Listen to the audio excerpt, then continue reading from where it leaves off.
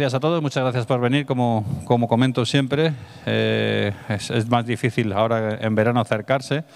Pero bueno, eh, como siempre que hablamos de la Guerra Civil Española, me repito más que las sardinas, pero prefiero, prefiero hacerlo para que quede constancia. Hace 85 años en concreto que, que, tuvimos la batalla de Brunete, va siendo hora ya que los españoles podamos hablar de la Guerra Civil Española sin comenzar otra, que podamos hablar de ella sin, sin discutir podemos tener diferentes opiniones y que nos enriquezcan los comentarios de unos y de otros, pero de una forma educada y de una forma correcta, sin, sin llegar a, discrepancias grandes.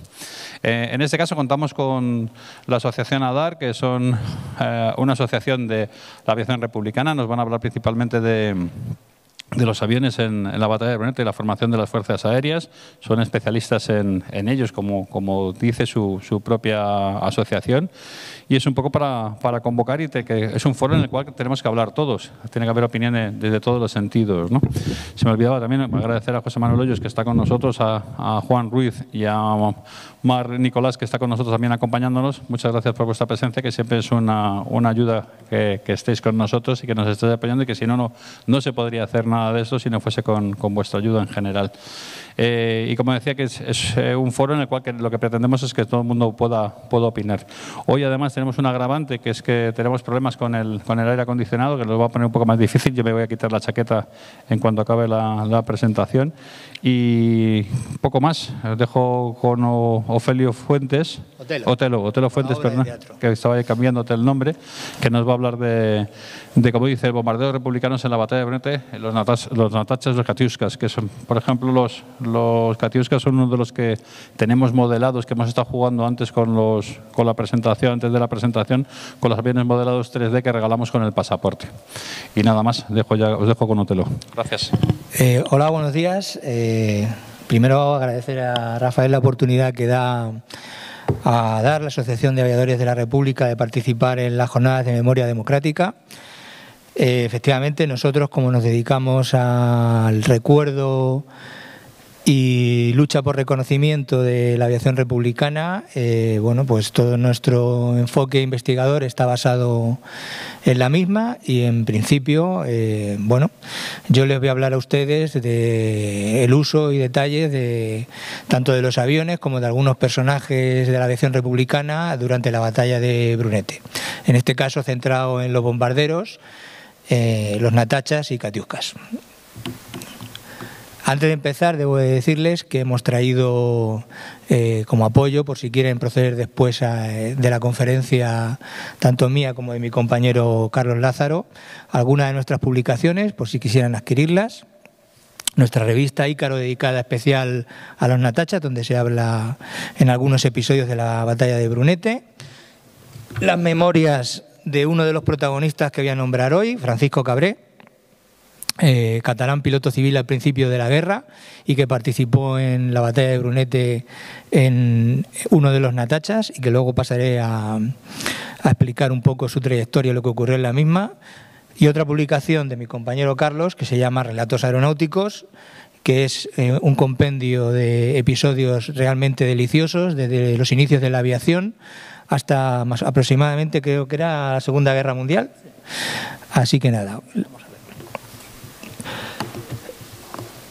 Eh, como además eh, sé que aquí hay gente que participa de otras asociaciones, antes de empezar con la conferencia eh, voy a pedir ayuda porque nosotros llevamos intentando localizar desde hace tiempo a, un, a un, piloto mexicano que participó dentro del contingente internacional en la aviación republicana, Eduardo Verduzco Robles, que fue derribado en la batalla de Brunete en la zona que va desde Sevilla la Nueva a Colmenarejo, creemos. Entonces, si alguna asociación pudiera decirnos si conoce el paradero de destino de entierro, pues se lo agradeceríamos enormemente, puesto que estamos en contacto con la familia residente en México y con investigadores norteamericanos que nos han solicitado ayuda para encontrar eh, los restos de, de, este buen hombre. Ahora, después, de todas maneras, eh, hablaré un poco más en, sobre el mismo.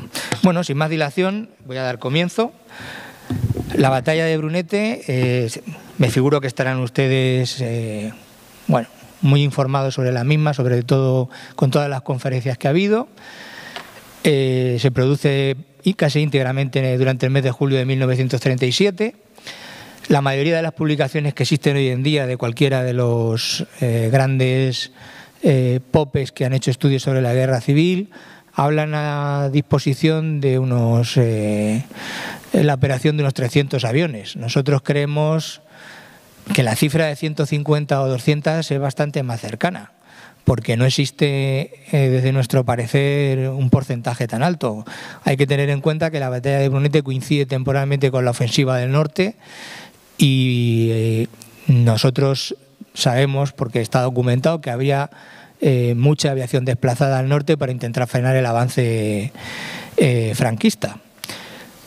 En cuanto a los bombarderos, pues aproximadamente participan entre unos 80 o 100 en la batalla de Brunete entre 45 o 60 natachas y unos 25 catiuscas, que es más o menos el contingente que existe funcional en ese momento. Gracias.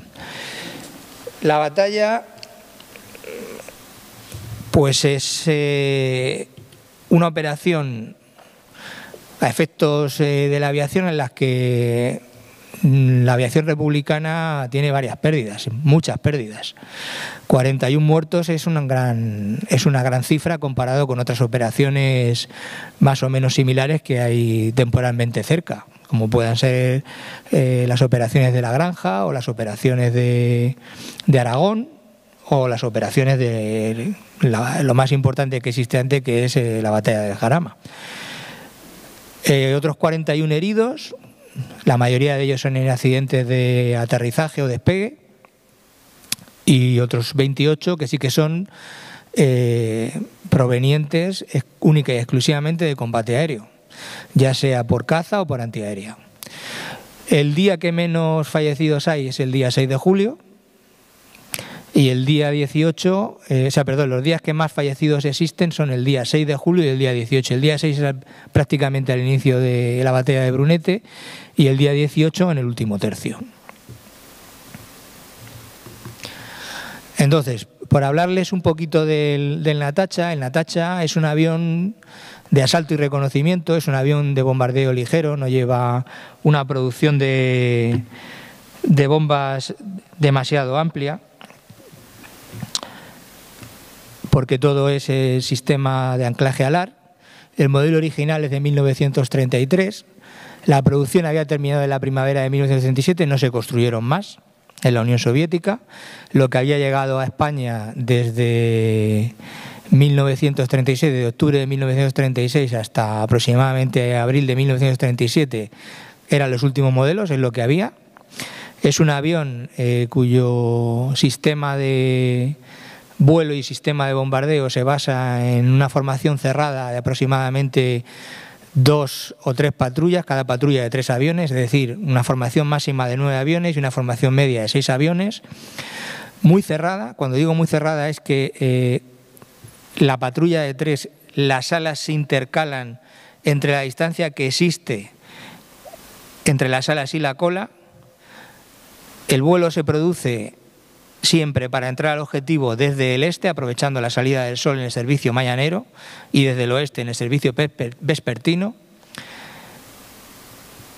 Se produce un picado en el cual entra en, boga el tubo compresor que tenía el motor para alcanzar una velocidad máxima de 400 kilómetros por hora. Se produce el bombardeo y acto seguido, en un vuelo rasante, vuelven al, a, su, a su base, a su aeródromo. Esto lo que provocaba, o más bien lo que conseguía, es que no pudiera haber eh, ataque aéreo por debajo, que es la zona más débil del avión, ya que eh, en un vuelo rasante de aproximadamente 30 o 50 metros sobre el nivel del suelo, ningún caza se atrevía a meterse, para no tener que correr el riesgo de estrellarse contra el suelo. Las ametralladoras SCAD de 7,62 que portaban, pues eh, con las cifras que he dicho, seis aviones a siete ametralladoras dobles o nueve aviones a siete ametralladoras dobles, pues producía una cortina de fuego de defensivo en estos aviones que los hacía eh, bastante resistentes. De hecho, los Natacha, hasta muy entrado el año 38, no sufren grandes pérdidas. Sí que las tienen, como es normal, porque son aviones de primera línea de combate, de primera línea de frente, que se usan para bombardear posiciones de avance, tanto de las tropas eh, republicanas como para impedir el avance de las franquistas, y entonces, bueno, siempre, tiene que, siempre existe un riesgo. Pero como les digo, hasta mediados del año 38, bastante avanzado, incluso hasta el otoño del 38 no se producen grandes, grandes pérdidas en los mismos. Las características técnicas, como pueden ver ustedes aquí, son dos plazas de tripulación. Una de ellas es el piloto, por supuesto, la otra se basa en el ametrallador observador fotógrafo, con una longitud de hélice a cola de 9,7 metros, una envergadura de ala de 15,5 y una altura de 3,6. La superficie de, alar es doble, de 42 metros cuadrados, es esquiplano, el ala superior mayor tiene longitud que la inferior y un encaje positivo, es decir, el ala superior está un poquito más avanzada que la inferior. El peso en vacío es de 2 toneladas y el peso máximo al despegue cargado de bombas son de 3.500 kilogramos. Es decir, podía cargar, como pueden ustedes ver, aproximadamente una tonelada de bombas. En cuanto a la planta motriz, pues es un motor monomotor V12 refrigerado por líquido con tubo compresor con una potencia de 836 caballos vapor. Como les he comentado, la velocidad máxima era de 300 eh, kilómetros por hora con un alcance máximo de 1.000 kilómetros y un techo de vuelo de 8.700 metros, alcanzando en picado, como les he dicho anteriormente, alrededor de 400 kilómetros por hora.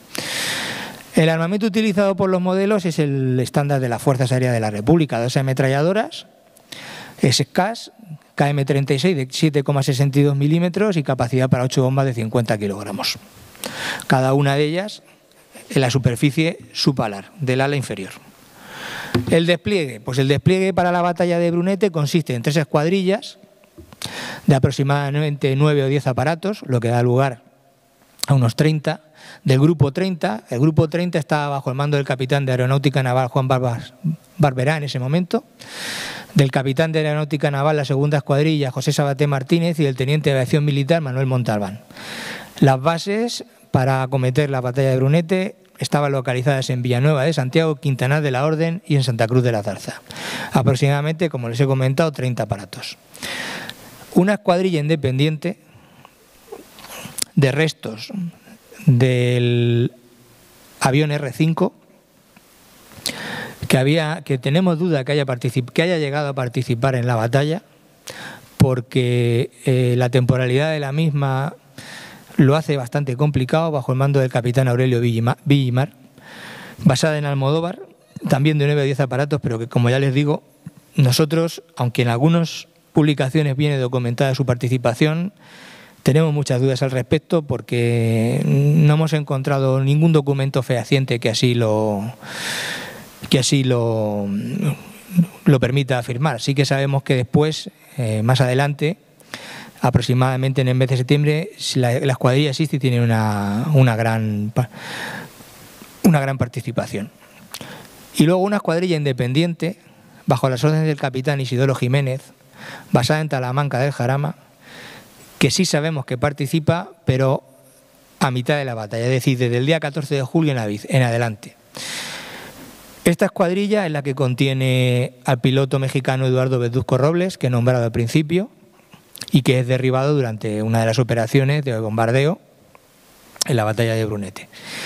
Entonces el resultado de la participación de los natachas es muy desigual. Los objetivos se cubren de bombardeo todos los días, con dos salidas, una al amanecer y otra a primera hora de la tarde. Sin embargo, las pérdidas provenientes de derribos por las cazas de los sublevados o de antiaéreas son cuantiosas, porque tengan en cuenta que les estoy nombrando aproximadamente unos 40 aviones y solamente Sara Razábal, el mayor investigador aeronáutico que existe hasta la fecha en España, cita 13 aviones perdidos únicamente en combate por antiaérea, sin contar eh, los accidentes. Pasamos entonces a, describir eh, la participación de uno de los pilotos de Natacha que vuela durante la batalla de Brunete. Se trata del piloto catalán Francesc Cabré y Rofes, cuya participación se basa en la segunda escuadrilla del Grupo 30. Bueno, pues Cabré había nacido en Tarragona en 1909, en 1936 era empleado de banca en el Banco Comercial de Barcelona, sin pertenencia a sindicato o a partido político alguno. Era muy aficionado al vuelo sin motor y poseía el título de aviación civil de la Generalitat 210 que lo había obtenido en 1934. Es eh, movilizado por la Generalitat de Cataluña porque tiran del listado de pilotos eh, civiles y llaman a todos los pilotos civiles a que se incorporen al aeródromo del Prat en prácticamente los primeros momentos, el día 26 o 27 de julio de 1936. Y Cabré, desde el primer día hasta el último de su pertenencia a la Fuerza Aérea Republicana, participa en unidades activas. Primero pasa eh, por la escuadrilla Las Rojas en Sariñena, Después es enviado a, una escuadrilla de vuelo nocturno del Grupo 11, donde también participa en operaciones en la costa levantina, sobre todo basada en la zona catalana. Posteriormente es enviado a los Natachas, que es la fase que nos ocupa, en la batalla de Brunete, en dos ocasiones. Y por último termina su vivencia dentro del Grupo 24 de Catiuscas como segundo jefe del grupo a partir de enero de 1939. Entonces, su trayectoria es claramente ascendente. Eh, Cabré fue condenado a seis años de prisión correccional por auxilio a la rebelión al terminar la, guerra. Eh, después desarrolló su vida civil como contable eh, y como pintor siendo muy aficionado a la acuarela y al óleo. Fue uno de los miembros fundadores de la Asociación de la Aviación de, Aviadores de la República, de ADAR. Mi compañero Carlos Lázaro tuvo además la fortuna de poder entrevistarle personalmente. Y bueno, sin más dilación paso a hablarles de la participación de, de Francesc Cabré en la batalla de Brunete. Cabré relata su participación en la batalla de Brunete en su incorporación a la segunda escuadrilla del Grupo 30 en Utiel, en las preparaciones, y el traslado a Quintanar de la Orden, eh, como jefe de la segunda patrulla. El sentimiento que él tiene cuando se incorpora, descrito en las memorias, es que ahí comienza la guerra de verdad. Hasta entonces, la mayoría de las operaciones en las que había participado Cabré eran de reconocimiento, de enlace, pero él ya empieza a tener la sensación de que eh, eh, lo que él ha vivido ha terminado y empieza a participar en un conflicto bélico real, donde existe la posibilidad mm, muy seria de no contarlo cada día que él despegue en un avión y salga al frente. Eh, como les he dicho, hay dos servicios de bombardeo, uno a primera hora de la mañana al amanecer y otro vespertino eh, por la tarde. Lo que Cabré relata en estos momentos es que es la primera vez que él ve en primera línea lo que hasta entonces solamente había visto en películas, que es el combate eh, al estilo inglés llamado dogfight o pelea de perros, en las que una maraña de aviones, 80 o 100 aviones, sin ningún tipo de formación ni sentido, vuelan en pasadas de picado, intentando derribarse unos a los otros. esto eh, dura aproximadamente, esta, esta forma de combate, pues eh, hasta el verano de 1937. Después la superioridad técnica de los Messerschmitt eh, y los cambios de formación mm, que estos aviones producen con respecto a las patrullas, empiezan a volar en parejas o en, o en parejas dobles, obliga a que estos combates, esta forma de combatir sin orden alguno termine, porque es un auténtico eh, colador para la aviación republicana. Es decir, es muy difícil mantener el pico de altura de estos, de estos Messerschmitt y sin embargo ellos a placer eh, dominan el cielo por encima acribillando a, los aviones republicanos. Y entonces eh, llega el día fatídico, un día que Cabré relata eh, como uno de los peores de su vida, el día 13 de julio de 1937 martes. Cabré, eh, que no es supersticioso, se da cuenta después eh, de la coincidencia de ese martes y 13 en su vida. Cabré relata que tiene un accidente en el despegue fruto de la polvareda que van levantando por la sequedad del ambiente el resto de los aviones que han despegado antes que él. En la tacha, por sus características en tierra, tenía tendencia a virar a la izquierda. Entonces, en la nube de tierra, polvo y humo, Cabré pierde la visibilidad y cuando sale de la nube prácticamente se ve que se va a estrellar contra la caseta de los armeros y un bosque que había cercano a, al campo, al aeródromo. Eh, tengan en cuenta que eh, las bases o los aeródromos que utilizaba la aviación republicana, la mayoría de ellas habían sido montadas a toda prisa en campos segados. No existe cemento, no existe hormigón, todo es tierra y polvo, puro y duro. El campo español y la meseta castellana en su máxima expedición y eh, consigue, mediante un palancazo, subir el avión, pero sin fuerza ninguna, eh, pierde, se cae en pérdida y tiene un accidente en el mismo despegue. Eh, ustedes, que seguramente cuando hay un accidente de aviación en televisión, habrá visto que la mayoría de ellos se produce en el despegue, es porque es el momento más peligroso eh, del vuelo, incluso más peligroso que el aterrizaje. Porque si el avión no tiene la potencia suficiente para conseguir eh, la capacidad aerodinámica que le permite volar, una caída de estos aviones, además, la mayoría de ellos de madera y tela, a 30 o 50 metros de altura resulta mortal. No existe posibilidad alguna de paracaídas que salve la vida de nadie y la potencia no es suficiente y el avión cae en barrena y se estrella contra el suelo. Cabré relata que pierde la conciencia durante unos minutos, nota que tiene un líquido viscoso que le cubre toda la cara, más tarde descubrirá que se ha roto todo el puente de la T de la nariz y las cejas, y sin embargo lo que le aterra es un olor a gasolina tremendo que empapa todo el avión, puesto que se han roto eh, todos, los, todos los depósitos de combustible del Natacha y su máximo intento es sacar, salir él de la cabina y sacar a su compañero ametrallador, un francés, Jean Taflen, que tiene rota una pierna, eh, antes de que el avión eh, se incendie o explosione con todas las bombas que lleva todavía en, las alas. Finalmente, el resto de compañeros del aeródromo consiguen llegar a este avión consiguen eh, rescatarlos a los dos y los trasladan al hospital de Quintanar de la Orden. Ese día, además, ese día 13, cuando la operación continúa, porque aunque haya existido el accidente, perdón, la operación de bombardeo planeada y planificada se lleva hasta la última consecuencia, eh, tienen el problema de que eh, el resto de los aviones son abatidos. No vuelve nadie al aeródromo. El resto consigue salvar la vida, pero no queda ni un solo avión hábil ya para la segunda escuadrilla el día 30 a partir de ese momento. Con la mala suerte además de que en uno de los aviones derribado eh, el reconocimiento enemigo encuentra los planos de situación de los aeródromos de las tres escuadrillas y empieza a haber eh, actuaciones de bombardeo sobre esos aeródromos y sobre los pueblos que los albergan.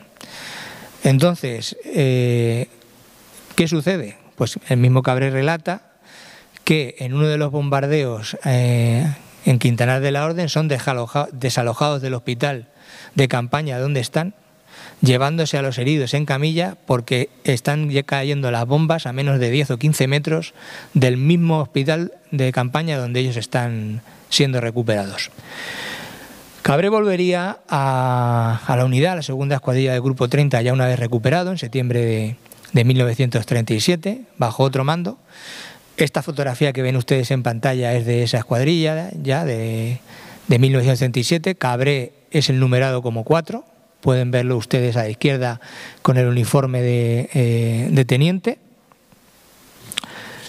Y eh, como les he dicho, después de su paso por los Natachas hasta diciembre de 1937, pues eh, después de hacer el curso de polimotores pasaría al grupo 24 de Catiuscas, de que les voy a hablar ahora y de la participación del mismo en la batalla de Brunete. Pero antes, antes quería comentarles, como les he dicho al principio, la participación del piloto mexicano Eduardo Verduzco Robles, antes de que se me olvide. Eduardo Verduzco Robles es uno de los voluntarios mexicanos que llega para unirse a la aviación republicana. Eh, la descripción que hemos eh, obtenido por él a través de un artículo escrito en uno de nuestros, de nuestros boletines Ícaro por un compañero suyo, Ricardo Domingo Bochaca, lo tacha como el típico mexicano charro eh, que se veía en las películas por entonces. Un tipo alto que viene con, botas altas de cowboy, y que en vez de llevar la pistola reglamentaria que se usaba en el ejército en ese momento, la Astra, de 9 milímetros, lleva un auténtico pistolón revólver eh, colgado al cinto. Verduzco, eh, que no debía de ser mal piloto, eh, tenía un carácter explosivo, citado por el mismo Ricardo Domingo Bochaca, en el cual él defendía que no se debía de usar el turbocompresor porque dañaba el motor, dañaba la vida útil del aparato y que la pericia de los propios pilotos en la formación cerrada era la que debía dar salida a la patrulla. Los compañeros le insisten y le dicen que no haga eso porque al quedarse descolgado de la formación eh, pues pueden ser presa fácil para el resto de, de, la aviación enemiga y que lo único que va a conseguir es que el avión esté nuevo y el muerto. Entonces Verduzco se pone en pie de un salto en la, en la cantina del aeródromo donde están, saca el pistolón, les encañona a todos y, le dicen que, y les dicen que, que se están riendo de él y que no se juega con el honor de un mexicano. Bueno, consiguen calmarlo, eh, pero realmente era una premonición de lo que iba a ocurrir. Porque en la escuadrilla 50, en una de esas operaciones, pues pasa lo que les acabo de relatar se realiza el servicio de bombardeo y la tercera patrulla al mando de Verduzco, por no usar el, el compresor, se queda descolgada. El resto de los aviones envuelta a su campo base ven como una escuadrilla de Fiat eh, derriban uno tras otro a los tres aviones. De hecho, eh, se, se, relata la muerte de Verduzco, la muerte de su observador Arán, la muerte de los otros dos eh, de, los, de los otros dos pilotos de los otros dos aviones y parece ser que se salva uno de los ametralladores, pero que desafortunadamente no hemos conseguido identificar de cuál se trata. Eh, de hecho, cuando al día siguiente van a, a recoger los restos del avión y a explorar la zona donde han sido abatidos, Verduzco está completamente carbonizado y solamente lo reconocen por las botas y por el pistolón revólver eh, que llevaba en el cinto. Dicho esto, eh, se cierra la participación de los Natachas. Paso a comentarles la participación de los Katiuskas. El Katiuska es el avión de bombardeo que usa la aviación republicana desde octubre de 1936. Es un avión eh, que está basado en un modelo original en 1933, sin embargo el último prototipo eh, se termina en noviembre de 1935 y la producción en serie en la Unión Soviética había comenzado en febrero de 1936. Con lo que eh, esto significa que los aviones que llegan a, España en tres contingentes, en octubre, en abril y en mayo de 1937, eh, son recién hechos. se ha oído mucho sobre que si las cajas que contenían a los catiuscas venían llenas de telarañas y de polvo y de lo que fuera, con lo cual debían ser modelos muy antiguos y en realidad no es así. O sea, los modelos que llegan en octubre tienen aproximadamente siete meses de vida útil desde la fabricación. Con lo cual, eh, bueno, o sea, queremos romper una lanza en realidad. ¿Qué es lo que pasa? Que el avión evolucionó, al igual que evolucionaron los otros. Y el Katiuska eh, que se recibe eh, en último lugar en abril de 1938 nada tiene que ver con, el que se recibe en octubre. Es un avión más avanzado, es un avión que permite eh, un vuelo en, mayor altura, es un avión que viene equipado con resistencias para que los trajes que llevan los pilotos, el ametrallador y el observador puedan conectarse a resistencias y tengan calefacción y puedan subir hasta los 9.000 metros de altura el techo del avión. Con lo cual, eh, el avión que participa en la batalla de Brunete pues es un avión relativamente débil en confrontación con eh, los aparatos alemanes e italianos de caza.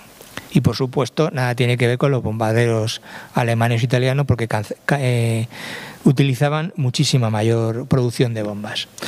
Las características técnicas son tres plazas, piloto, observador y ametrallador. El observador, para que ustedes los tengan claro, hace la figura de un navegante, es decir, es la persona que realmente eh, fija el rumbo, aunque luego el piloto eh, sea el que maneja. Y el ametrallador es el encargado de la defensa del avión en la cola. La longitud del avión es de 12 metros y medio, la envergadura de la ala es de 20,3 metros y la altura de 3,6. La superficie de ala es de 56,7 metros cuadrados y el peso vacío es de casi 4 eh, toneladas. El máximo al despegue es de 6.200 kilos, unas 6 y media. La carga máxima de bombas que podía llevar el Katiuska más o menos era aproximadamente unos 600 kilos, entre 600 y 800 kilos. La planta motriz es un motor, son dos motores eh, V12 refrigerados por líquido con una potencia de, de 1000 caballos. La velocidad máxima es de 450 kilómetros por hora con un alcance máximo de 1500 kilómetros y un techo de vuelo de 8500. ¿Qué es lo que nos indica esto? Pues que este avión no está concebido para el bombardeo como tal. Es un bombardeo ligero en posiciones de, retaguardia enemigas en posiciones de aprovisionamientos, en posiciones de estaciones eh, de tren, en posiciones en las que superado no es un avión para el frente, no sirve como avión para el frente.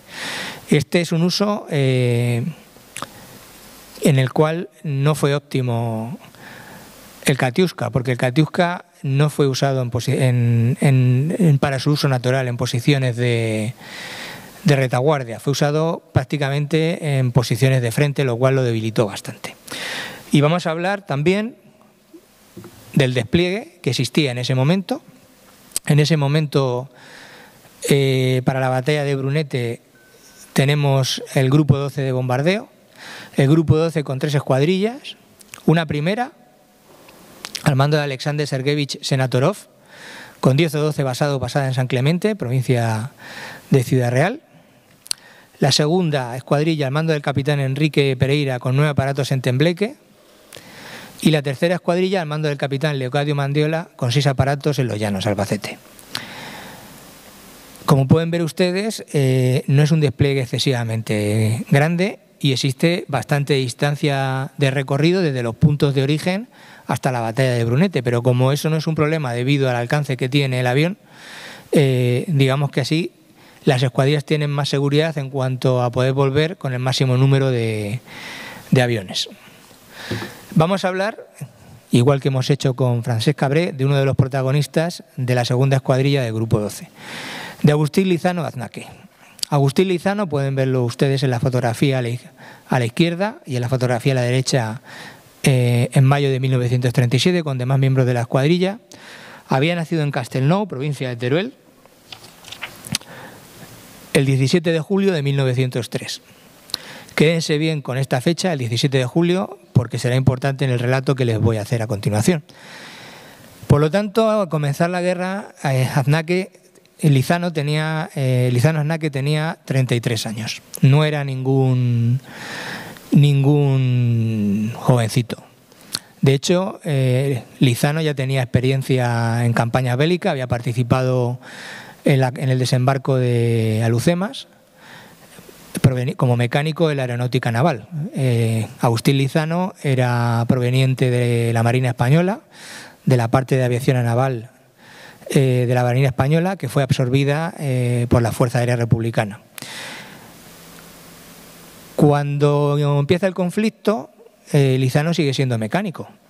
Sin embargo, en la primera oportunidad, para dar continuidad a su vida profesional, como él mismo diría después, eh, se saca el título de piloto ofrecido a todos aquellos eh, mecánicos eh, y personal leal de la aeronáutica naval que estaban en ese momento en San Javier.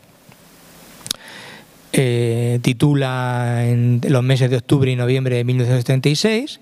Posteriormente pide el curso de polimotores, es enviado al aeródromo de Reus, donde después de un mes y medio, perdón,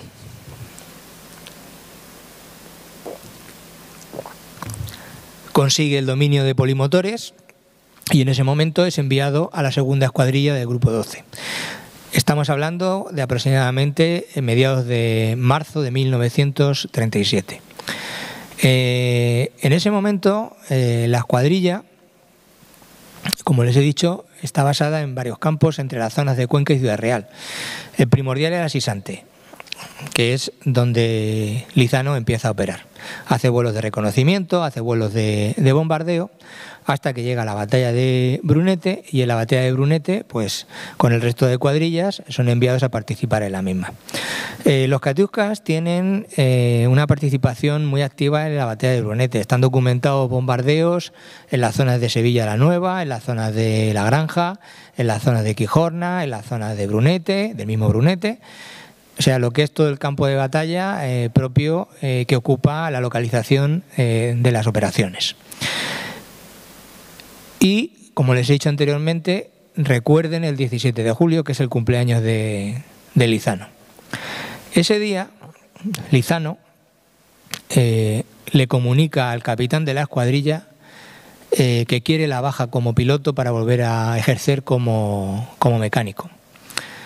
Eh, él se encuentra que con la edad que tiene, eh, con 34 años para 30 y, o sea, perdón, con 35 años para cumplir 36 ese mismo día, no tiene la disposición física ni de nervios suficiente para estar participando activamente eh, como piloto de primera línea en combate y bombardeos. Y Pereira, el jefe de la, de la escuadrilla, le dice que, que no hay problema, Pereira conocía a Lizano desde el desembarco de Alucemas que les he nombrado, había sido incluso su, mecánico personal en los hidroaviones Dornier, eran muy amigos y le dice que no hay problema, pero eh, que tiene que hacer un último servicio el día 18 de julio porque no tiene, no tiene cómo sustituirlo todavía. En esos momentos acaba de llegar eh, la primera promoción de pilotos formados en la Unión Soviética en Kirovabad Pereira sabe que están pendientes de que le envíen eh, pues una remesa de, esos jóvenes de 18 y 20 años que fueron a sacar el título de piloto en la Unión Soviética, pero en ese momento, como le comunica Agustín Lizano, no tiene recambio. Entonces le pide que haga ese último servicio. Y ese último servicio va a ser crucial para la vida de Lizano. Porque eh, en plena operación de bombardeos eh, son sorprendidos y derribados. Eh, muere el observador que la acompaña, muere el ametrallador que la acompaña, él logra saltar en paracaídas, pero con la mala fortuna de que eh, el paracaídas no actúa lo suficientemente bien y en la caída Agustín Lizano eh, se rompe la espalda. Tiene un accidente muy, muy, muy, muy, muy feo, se rompe la espalda, es trasladado al, hospital de campaña más cercano. El hospital de campaña además está siendo, como les he dicho anteriormente, objeto de fuego y bombardeo. Y mientras eh, Lizano es operado de la espalda para intentar que no quede tetrapléjico, eh, como se relata eh, por el mismo capitán Enrique Pereira, sufren bombardeos y se van la electricidad, del quirófano donde le están operando hasta en dos ocasiones con Lizano tumbado en la mesa y las tripas fuera, en una bandeja, mientras intentan eh, recomponer todas las heridas que tiene y quitar todos los fragmentos de hueso que tiene clavados en, la médula espinal y en las zonas intervertebrales. Bueno, finalmente eh, consiguen salvarle la vida. Eh, Lizano, que ve que no ha quedado en silla de ruedas, quiere volver a recuperarse lo antes posible. Tanto es así que finalmente tienen que poner una guardia continua para evitar que se levante de la cama, ya que eh, cualquier mal movimiento podía volver a, dejarle en una silla de ruedas. Lizano a partir de este momento es retirado de servicio activo, no pasa el tribunal médico puesto que tiene que llevar un corsé que le sujeta eh, toda la zona eh, pectoral, todo el tronco del cuerpo el resto de su vida, con unos dolores que le incapacitan para hacer absolutamente ningún trabajo físico. es dedicado a tareas burocráticas y administrativas de mando, puesto que en ese momento él era capitán. Pereira, el jefe de la escuadrilla, cuando fue nombrado después jefe de la quinta región aérea, eh, debido a la amistad que le debía y a que él pensaba que era el culpable eh, de la situación en la que se encontraba Lizano, se lo llevó consigo a todos los destinos que tuvo hasta el final de la guerra, incluso siendo segundo jefe de la quinta región aérea y lo protegió lo más que pudo, eh, porque como ya acabo de comentar, pues eh, se sentía responsable de, que Lizano, un día después de que le hubiera pedido la baja como piloto, hubiera quedado prácticamente inválido para el resto de, su vida. Lizano fue detenido al terminar la, la contienda, fue juzgado y condenado a seis años de prisión menor puesto que en su carácter de, de invalidez prácticamente permanente eh, no, tenía ningún riesgo para la para el nuevo el nuevo orden que había impuesto eh, la rebelión franquista. Dicho esto, eh, paso a, relatarles que el resto de las operaciones fueron mayoritariamente hechas eh, por la escuadrilla rusa, apoyadas también por la escuadrilla de Mendiola, el más famoso piloto de bombarderos Katiuska que existió a, lo largo de la aviación. Y bueno, hasta aquí llega mi, mi disertación, espero que la hayan disfrutado. No sé si me da tiempo a abrir un pequeño turno de preguntas, por si alguien, sí, que son las las 11 y 50. Si alguien quiere hacer alguna pregunta sobre lo que hemos visto o, algo, o alguna pregunta en general sobre la aviación republicana o sobre los bombarderos, pues con mucho gusto estaré eh, dispuesto e intentaré respondérsela. Hola, muchas gracias por, por la conferencia. La verdad es que es un aspecto de la batalla Brunete que no era muy conocido. Es más conocido las operaciones terrestres sobre todo la, intervención de las brigadas internacionales. Te quería preguntar una cosa, los Katiuskas has comentado que venían de distintos aeródromos bastante alejados de, la batalla Brunete, pero los Natachas, ¿de dónde venían? Los Natachas, eh, en la presentación, al principio, he nombrado los campos de origen, eh, se lo voy a decir ahora mismo. Los Natachas eh, al principio de la batalla operan desde Villanueva de Santiago, desde Quintanar de la Orden y de Santa Cruz de la Zarza. Ninguna escuadrilla, digamos. La más cercana, la, más cercana, la más cercana que, queremos eh, localizar es la de Talamanca del, Jarama. Esa es la más cercana que queremos localizar a la batalla de Brunete, porque eh, piense usted que, como he comentado, son aviones relativamente débiles con respecto a, la aviación enemiga. Entonces, eh, necesitan una cierta distancia de tranquilidad para poder operar en distintos puntos.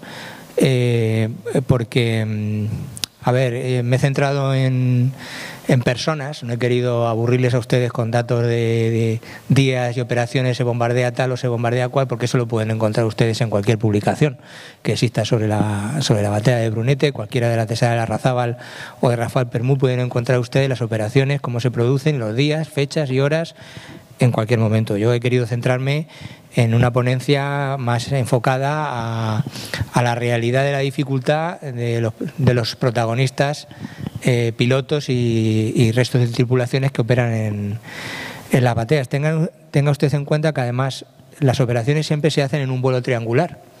Un vuelo en el cual el segundo vértice del triángulo es el objetivo a batir y el primer vértice del triángulo, si es por la mañana, es el este, coincidiendo con la salida del sol, para que el campo enemigo no pueda ver venir a los aviones o si los ve venir no tenga una capacidad real de visualización de cuántos vienen.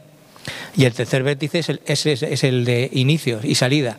Entonces, son vuelos en triángulo muy amplios muy, muy amplios, o sea, no son vuelos en línea directa atacar el objetivo, para tener siempre esta formación de ataque que, he comentado.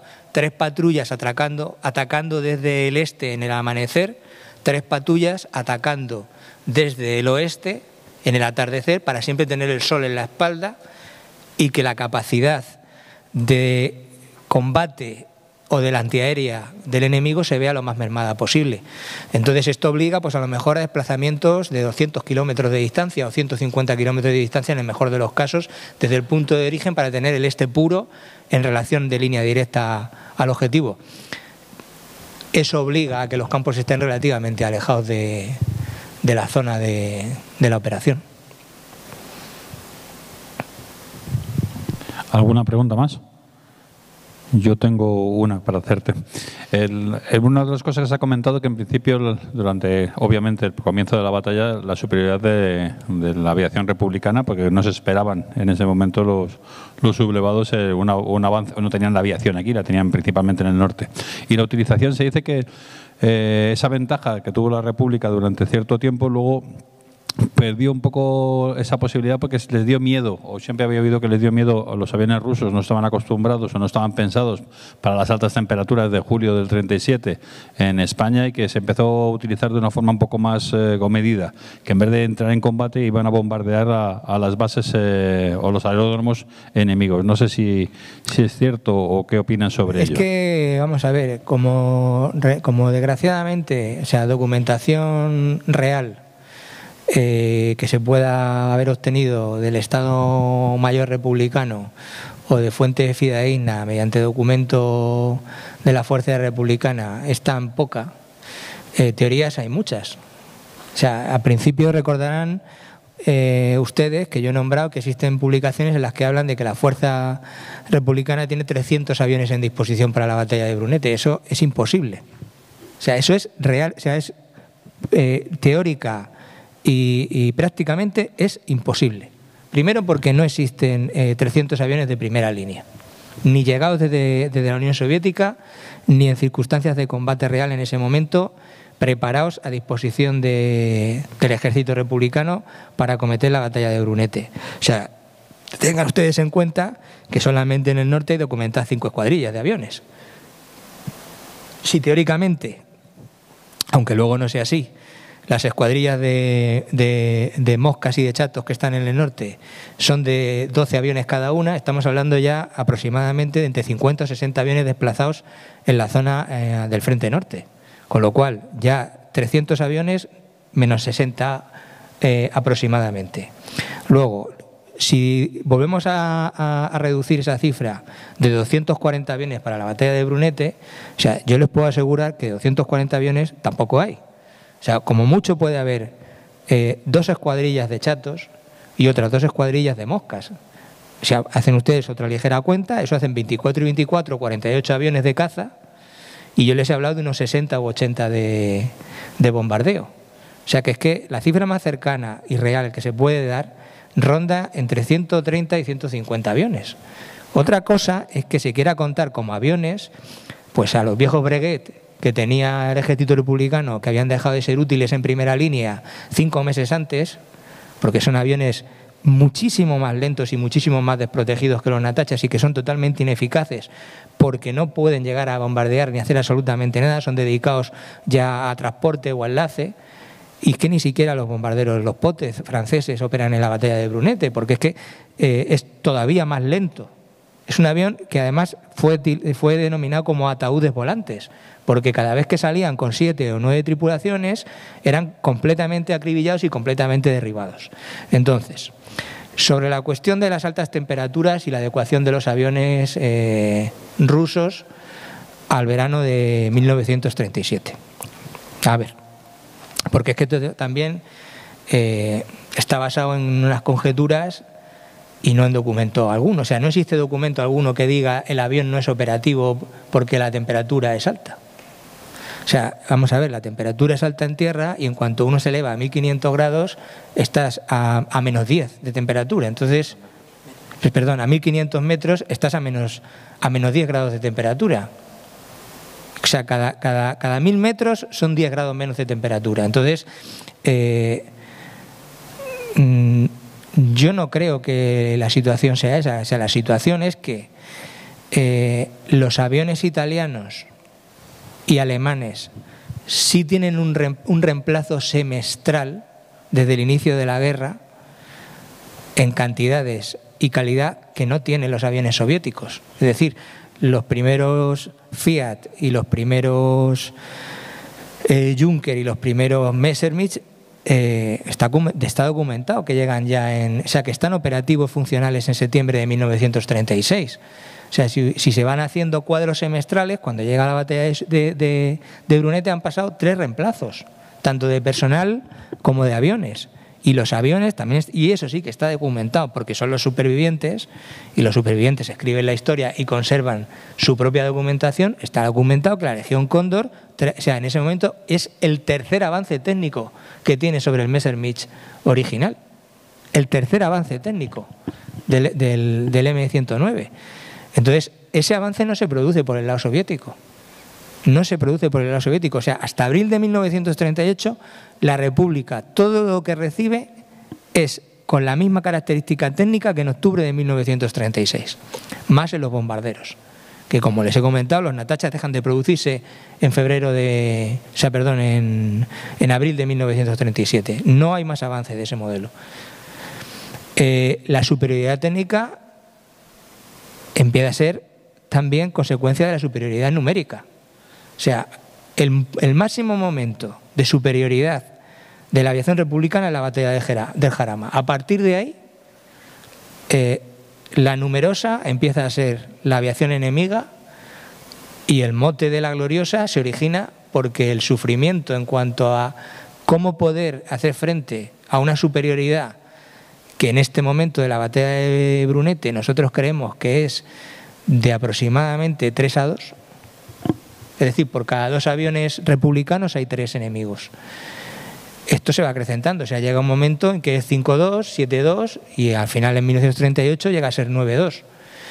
Entonces, em, no es tanto nuestro país. Además, piensen que la Unión Soviética es un territorio muy grande muy, muy grande. O sea, no solamente, no, ni no todo el territorio es, es Siberia, ni es eh, Moscú, ni es. O sea, hay zonas de, de, lo que entonces era la Unión Soviética que tenían la misma temperatura que Barcelona.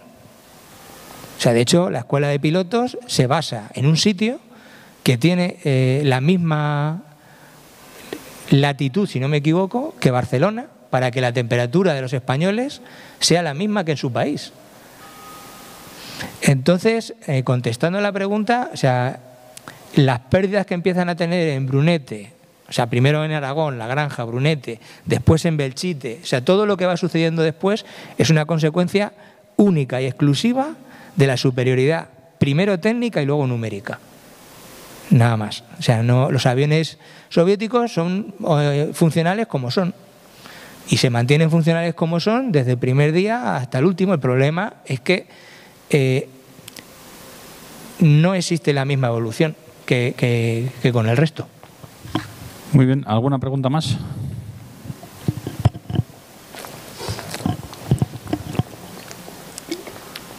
Hola, buenos días. Solo quería saber si se encuentra algún avión todavía que se pueda ver eh, o visitar de estos dos tipos que habéis dicho en España. Vamos a ver, eh, aviones de la aviación republicana eh, útiles, ahora mismo hay uno que tiene la Fundación Infante de Orleans en vuelo. Tiene un Mosca.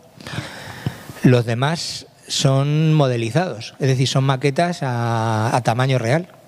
O sea, yo les puedo decir que existe em, un Katiuska a tamaño real en Tarragona, en la Senia, un Mosca que hizo también a tamaño real el mismo, la misma persona que ha hecho esa maqueta, siguiendo los planos originales. Y en su día yo creo que se hizo una tacha por, un, por una escuela de... Ah, eso no, fue un chato. Eso es, o sea, una escuela de aprendices mecánicos como proyecto de fin de curso, pues lo mismo, hizo un, un modelo 1-1 de un, de un chato y está en Santa Margarida de los Monjos, también en, en Cataluña. Aviones eh, que yo sepa funcionales en vuelo, no hay ninguno, ni en el mundo, y el único, el Mosca, que está en, en la FIO. Bueno, eso lo cuentas tú entonces. O sea, yo, yo que yo sepa, o sea, bombarderos mm, viables ninguno. O sea, Natachak sí que los, o sea, yo sí que he visto modelos maqueta, pero incluso hechos para mm, para esto, para modelismo, pero, pero modelos reales uno a uno que se puedan ver para contemplar el avión en real, su tamaño y tal, el, el Katiuska, el único en, en Tarragona, de los bombarderos, en la Senia. Pues si no hay ninguna pregunta, pasamos a, la ponencia de Carlos. Muchas gracias, Otelo. Bueno, pues muchas gracias a, ustedes. Eh, han sido un público estupendo y les agradezco el silencio.